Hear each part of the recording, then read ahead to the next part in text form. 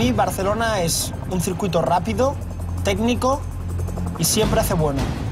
Barcelona, 4,6 kilómetros, 66 vueltas, 307 kilómetros en total, 5 tramos rápidos, 3 curvas lentas, 2 puntos ideales de adelantamiento, velocidad máxima 308 kilómetros por hora.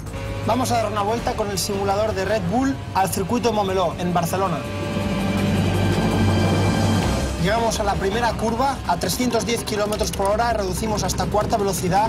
Son dos curvas enlazadas muy rápidas. Nos quedamos por la zona de dentro y hacemos la zona parabólica prácticamente a fondo con el pedal abajo. Toda esta zona se hace uso de la aerodinámica, es una zona muy rápida del circuito de Cataluña.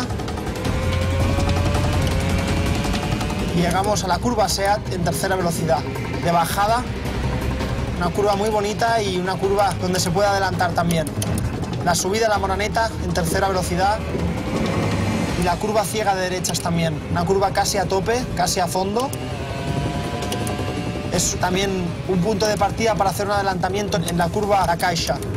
Una frenada que de séptima se reduce hasta la segunda. Es una curva que se va mucho porque la tracción es muy pobre, es una zona nueva del circuito la penúltima curva es una curva muy larga de derechas, hay que prolongarla mucho y quedarse siempre por dentro. Y a la última curva se hace en segunda, tercera velocidad. Es una zona muy lenta, muy lenta. Y entramos ya en la recta final.